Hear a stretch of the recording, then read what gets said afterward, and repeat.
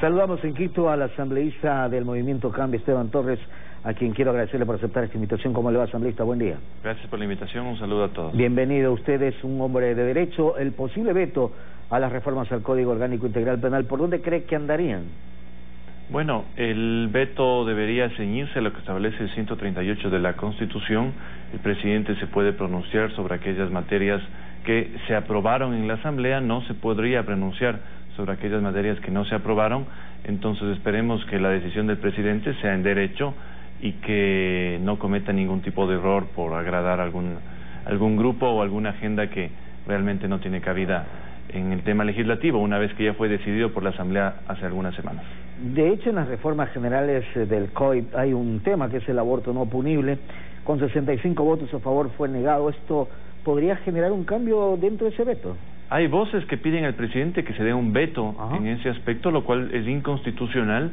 Esa, ese, ese tema no fue aprobado, es decir, no le llega en el documento ni siquiera de forma práctica al presidente para que se pronuncie sobre él, así que mal podría darse un veto, al menos en este punto, ya que hay voces que dicen que le podría conectarlo con una transitoria que realmente no se votó en el, en el paquete del aborto, sino que estuvo en el primer eh, paquete de votación, lo cual sería ilógico, ya que esa disposición fue además inefectiva, ya que en el caso de que se hubiera aprobado ese artículo, en ese entonces tenía vida jurídica.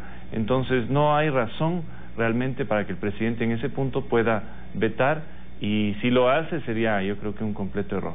Ahora, una de cal y otra de arena es lo que sostienen algunos en torno a la Asamblea con esta eh, reformas al Código Orgánico Integral Penal. ¿Y por qué le digo esto, abogado? Porque el eh, comiso sin condena se aprueba y la incautación de bienes eh, producto de delitos de corrupción no pasa. ¿Cómo entender eso? Bueno, es muy sencillo. Dígame. La, la incautación ya está vigente al día de ahora, no se, no se ha derogado, puede, puede utilizarla cualquier fiscal, cualquier juez. Lo que se quería hacer era una modificación mal hecha eh, para permitir que aquellos bienes producto de la incautación se los pueda vender. Sin embargo, la figura del comiso sin sentencia que se aprobó y que es la figura realmente la mejor para la lucha contra la corrupción y que se dicta además de un momento procesal distinto cuando ya existe auto de llamamiento a juicio y que es recomendada por todos los organismos de lucha contra la corrupción, se aprobó y esa sí es una medida que será efectiva, que no estaba en el Código Orgánico Integral Penal, el comiso sin sentencia, y que además refuerza la figura del testaferrismo eh, con el comiso a terceros.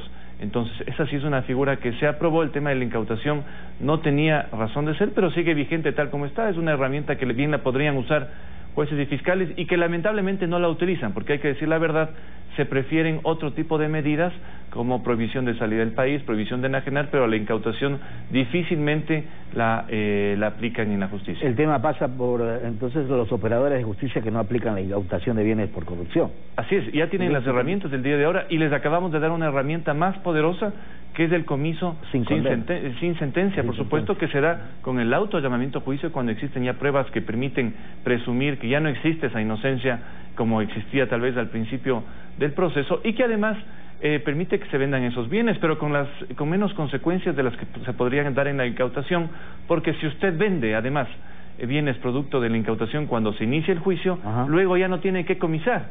Entonces había realmente ahí una disquisición jurídica. Yo creo que lamentablemente han, mal informado algunos medios nacionales de la ciudadanía, pero esa figura está como tal ahí. Existe también el comiso penal en el artículo 69 y lo que es, se ha agregado el comiso sin sentencia en el 69.1. Entonces yo creo que con estas herramientas los jueces y fiscales tienen, por supuesto, todas las armas para eh, no solo investigar y sancionar, sino también para recuperar lo robado, que es la gran demanda de la ciudadanía. Yo no creo que los medios hayan mal informado, yo creo que la Asamblea no ha explicado bien como usted lo está explicando. Yo creo que es un tema técnico complejo. Vea usted que políticamente incluso era más fácil votar a favor, yo me abstuve como mi bloque, por estas razones pero ya en la práctica, como le digo, eh, parecería que aquí no, nunca existió la incautación o se la negó. No, no, está vigente actualmente, puede ser perfectamente usada. Lo que sí tenía es un inconveniente en un cambio de una, de una frase realmente en el tema de que se puedan vender estos bienes, lo cual, eh, con el argumento de que es oneroso para el Estado, pero imagínense, más oneroso es eh, devolver esos bienes con los intereses y a su valor real una vez que, en el caso de que no se ha llamado a alguien a juicio o se ha declarado inocente. Y lo otro es el uso del cannabis. Eh, se aprueba la siembra también, ¿no? Sí, esto también hay que aclararlo. se hacen dos reformas en el tema del cannabis. El primero es sobre la tenencia, aquellos que sean encontrados en tenencia, digamos, no en tráfico con estas sustancias. En el tema del cannabis hay que puntualizar, se refiere únicamente a fármaco, es decir, la tenencia de un fármaco, es decir, algo que fue procesado, en donde hay el, componente del cannabis, del cannabiol o derivados. En el tema de la siembra también, es un tema de la siembra eh, con fines de uso personal, lo cual yo en el fondo sí consideré, más allá que en el concepto, digamos, no estoy en contra, considero inconveniente precisamente por el mensaje que se podía mandar a la ciudadanía y no voté a favor de ese articulado. Pero es eso, tampoco es que se ha, se ha aprobado el libre comercio y el tráfico como se presumen algunas personas, es un tema eh, puntual también que tiene que ser medido con, pinzas y por supuesto tiene que ser visto ya en la aplicación, ¿no? El Código de la Salud que está en discusión tendrá que tratar estos temas para que haya un orden, haya un control y haya eh, tranquilidad en la ciudadanía que también ve a la droga muy cerca a sus niños y a sus hijos. Para cerrar este diálogo asambleísta, ah, se anuncian el envío de reformas laborales y económicas o tributarias por parte del Ejecutivo. Yo sé que no tienen todavía un documento, pero ¿hacia dónde cree que apuntarían? Bueno, evidentemente estamos a la expectativa del documento el día de ahora. Yo entiendo que habrá una subida de impuestos. El tema del IVA, más allá de especulaciones, sí parece que es un tema que eh, se, verá venir. Yo al menos he anticipado que no aprobaré ninguna medida que sea subida de impuestos, que sea sacarle más dinero a los ciudadanos en este momento tan complicado.